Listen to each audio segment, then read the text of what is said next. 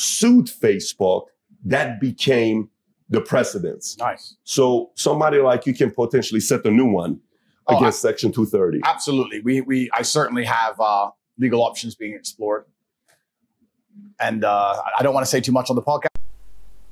In this video, we are going to talk about Andrew Tate potentially launching a lawsuit against the big tech companies that have banned him from their platform.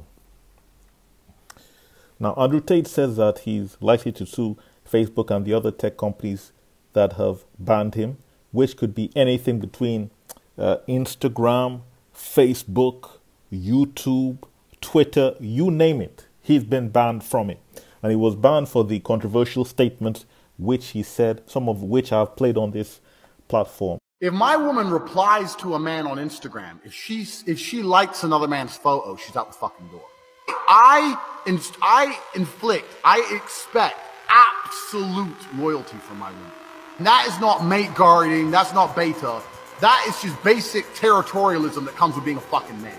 I ain't having my chicks talking to other dudes, liking other dudes.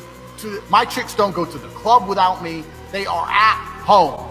And you know what's so attractive about younger women? A lot of these dudes talk about fertility and, Yeah. and looks and stuff. I don't actually think it's that. I think that in the modern world, in the days of old, right, you'd meet a woman, you get married, you'd be together, whatever. whatever. In the modern world, if I meet a girl who's 33 and single, I know the amount of dick that's been through her before me is just simply unattractive. I don't care how nice you are, Yeah, yeah. but you're 33 years old. How many men have fucked? If I get a 19 year old girl, I might be her second or third man, right? I'm gonna be dude number fucking 29, Yeah. and all the trauma and heartbreak and bullshit they put you through, you're gonna try and bring to my door. Yeah. Like, well, my last man cheated. I don't give a fuck. Yeah. That, Like, I don't care. Like, why is that my problem? So, if you pick up older women, you have to accept they've been on the carousel longer. They've had more fucking rides, more spin. I don't want that. sh- Now, the question is Is he likely to be successful in a suit against these tech companies to get on their platform?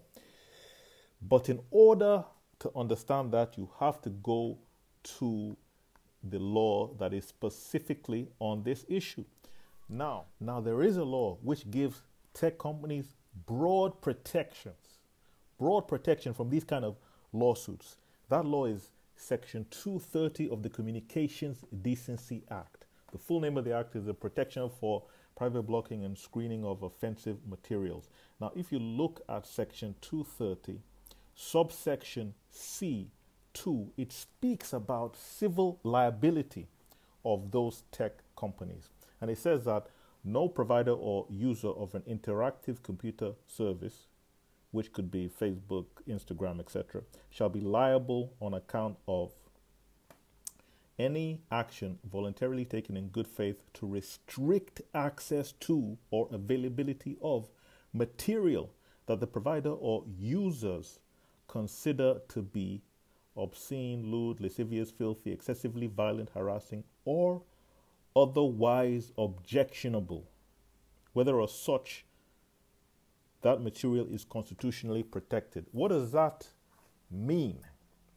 What that means is if any tech company feels that the material that you're posting on their website is obscene, lascivious, harassing, or otherwise objectionable, which is very broad, they can kick you off the platform. So essentially, they, based on the law, could kick Andrew Tate off the platform if they state that he they felt anything that he posted was otherwise objectionable, it harassed people, basically any reason that they want that is not considered a discriminatory reason, they can kick Andrew Tate off for. It's very difficult to get past laws like this. There is one individual who did try to do it, and his name is Andrew Berenson, I believe. Alex uh, Berenson, who sued Twitter. Uh, and he sued them for kicking him off the platform because he posted something about a uh, issue in the pandemic that took place, which I'm not going to go into because obviously we know that YouTube doesn't like discussion about that. When that lawsuit got to the discovery stage, the discovery stage means you can now get information from the person that you're suing in, in order to advance that lawsuit. So they may have to provide documents or they can even sit for a deposition, meaning that you can ask a tech company to bring some some uh, executives or employees to now sit with your lawyer to answer questions.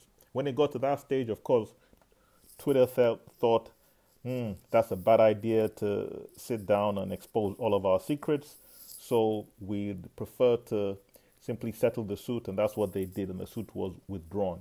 So Section 230 has not really been uh, extensively tested because there aren't that many people that would uh, essentially like to take a big tech company with billions of dollars to court and think that they could win. But it would be interested or interesting if uh, this section was tested a lot more in courts. And Andrew Tate certainly has the right to bring this case to court, and uh, uh, you never know. A judge might uh, err on his side. However, given the wording of the statute, it's not very likely. So that's exactly why he will have difficulty suing these tech companies in court. If you like the video, make sure to like it, comment, and subscribe.